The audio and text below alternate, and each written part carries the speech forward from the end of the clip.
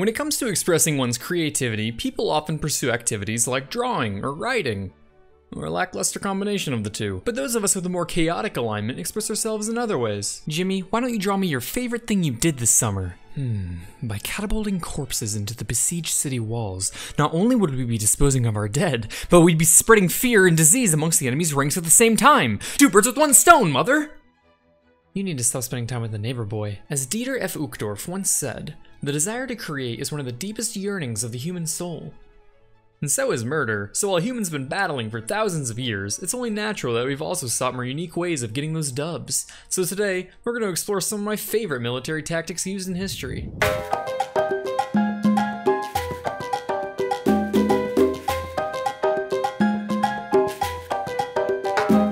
The SMS Cap Trafalgar was a German civilian ocean liner that was repurposed into a warship for World War I. Converting ocean liners to troop transport or medical ships was common, but fitting them for war was kind of like giving a kid a gun. Sure, a child soldier can produce the same stopping power as your average GI, but let's just say Rambo would have been a much shorter movie if he was mowing down toddlers instead of Burmese soldiers. The Cap Trafalgar was tasked with taking on British merchant ships off the coast of South America, and to do this, they came up with a unique strategy. Using some newspaper pictures they found, they disguised their ship as the British ocean liner, the RMS Carmania, and used the ruse to sneak up on merchant vessels. The newly disguised Cap Trafalgar set off on its first voyage, feeling all cheeky, and soon encountered its first victim. Well, this is awkward. Dialing the clock back a few hundred years, we have the probably fictitious, but I'm still going to include it because fuck it story of the town of Rothenburg ob der Tauber in Germany. During the Thirty Years' War, the Catholic army wanted to destroy the town because they resisted the church. We have come in the name of God. You are now saved. The town council attempted to change the Count of Tilly's mind with a gift of local wine, three and a quarter liters worth. The count declared that if anyone could drink the lot of it in one sitting, he would spare the town. So the councilman gave it to their mayor, who proceeded to abuse his liver more than an Olympic gymnastics team. by God, you've done it! You've saved the town! I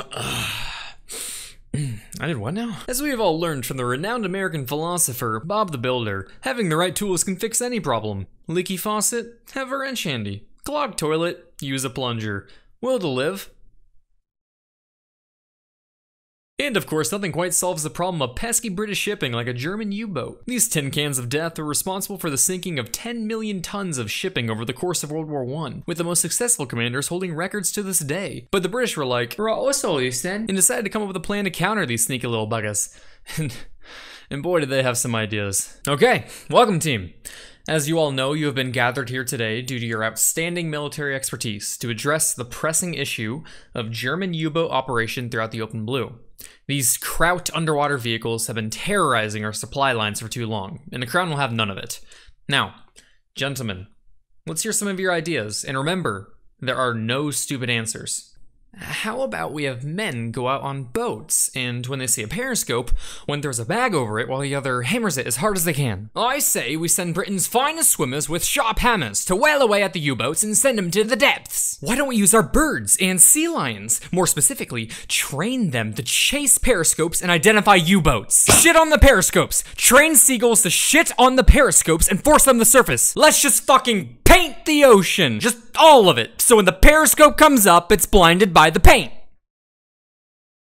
I stand corrected. You may think I'm joking, but they actually went through with some of these plans. Radios were well developed by the time World War II came around, but Germans had the annoying habit of listening into Allied transmissions. Hey, can you guys like stop listening into our transmissions, please? Or we'll have to take action. oh yeah, you and what pigeons? Allies turned to the tried but true method of using homing pigeons to help deliver sensitive material. The plan was to parachute the pigeons into France, with instructions for the locals on how to use them to deliver intel across the English Channel. And if you're wondering how exactly exactly. One goes about parachuting pigeons into a war zone, when you stupid? The answer is lingerie. Or more specifically, the lingerie company Maidenform. That's right, the Allies hired a lingerie company to spice up their production, shifting from making corsets and bras to pigeon parachutes and vests. Unfortunately, this tactic led to many deaths, as pigeons that landed unseen by locals would be trapped in a straitjacket of sexy pigeon lingerie.